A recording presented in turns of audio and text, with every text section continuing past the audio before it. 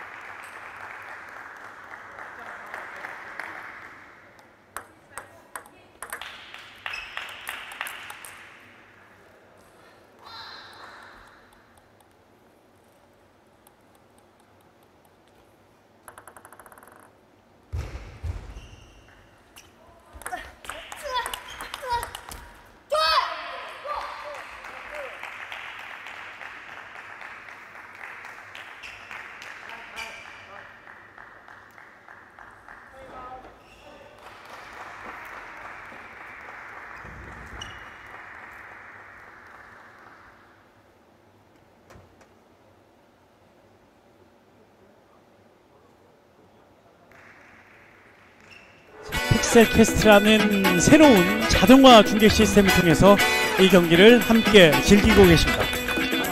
자, 이어지는 드라이브! 네. 그리고 성공합니다. 자, 몇 번의 랠리였나요? 아, 근데 이렇게 보여주시니까 아, 십구가 연결됐구나 쉽게 예, 이렇게 알아볼 수 있네요.